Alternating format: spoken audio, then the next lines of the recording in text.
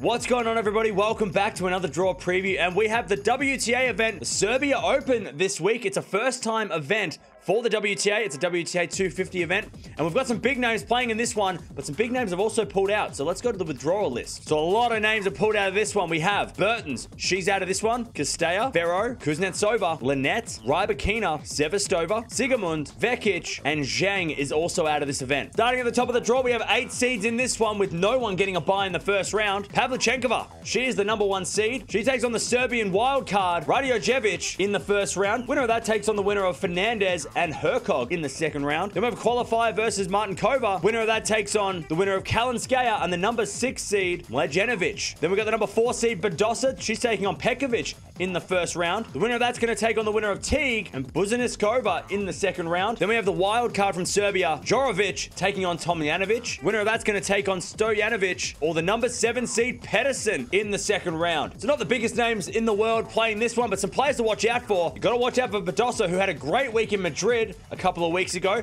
Also, Marjanovic. is officially the world number one in doubles as of this week, so watch out for her this week. And also make sure you watch out for Pavlyuchenkova, the number one seed. Going to the bottom half of the draw now, we have the number eight seed, Kovinic. She takes on a qualifier in the first round. Winner of that match is going to take on either Sasnovich or a qualifier in the second round. And we have another Serbian wildcard, Danilovic, taking on a qualifier. Winner of that's going to take on either another qualifier or the number three seed Zhang. So a lot of qualifiers in this part of the draw. Then we got the number five seed Podoroska taking on Babos. The winner of that's going to take on either Kristina Pliskova or Dodin in the second round. Then we have Van Uytvanck taking on a qualifier. Winner of that's going to take on either Juvan or the number two seed Putintseva.